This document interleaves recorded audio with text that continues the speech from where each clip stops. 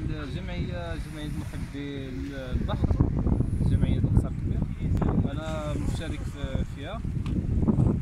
ان مشارك جاتني ما نغطس آه، على الازبال اللي كاينة في البحر المنطقة اللي معروفة ببوكيس جبرنا تبارك الله ديال الزبل اللي هي ازبال اللي هي بلاستيكيه ومن بين الازبال اللي هي آه، معدنيه والحمد لله توفقنا لقينا هاد الازبال هذه نعم. وبالنسبة لاحظتي لاحظتوا بأن كذلك هاد المخلفات هذه يعني وقع الطمي عليها بالرمال وداكشي يعني.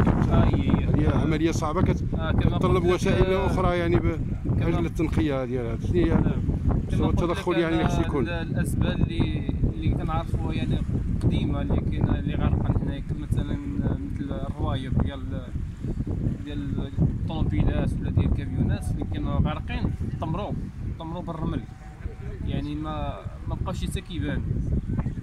يعني كتبقى الظاهرة ديال الطمر على على الحجار وعلى ال- الروايد ما كيبقى باين حتى اذا باش كتوصي بالتدخل كيفاش خص يكون مستوى التدخل؟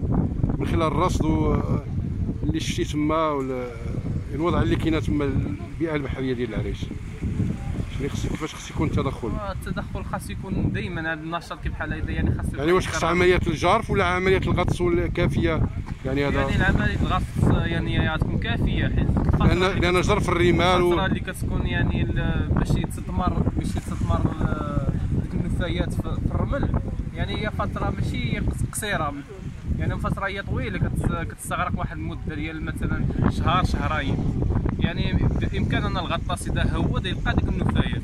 يعني يلقى ديك النفايات قبل ما تتمر تحت الرمل نعم اذا خص واحد التدخل كبير من أجل معالجه هذه الوضعية. هذه آه التدخل السريع مستوى التدخل يعني خص يكون كبير. نعم.